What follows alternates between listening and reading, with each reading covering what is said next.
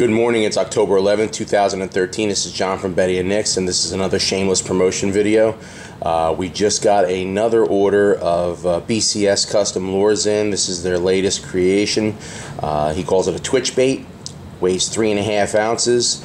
It's uh, The hooks are all screw-eyed in, but they're also epoxied in. Screw-eyed and the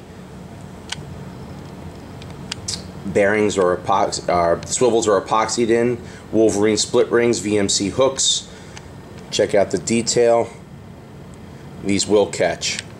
Three and a half ounces. Nice Siwash uh, bucktail tied hook. Bunker pattern.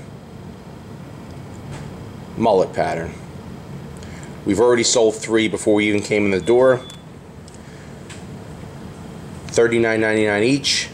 Give us a call to reserve. We only have six of each, and like I said, three of them, three of each are gone already. Peace.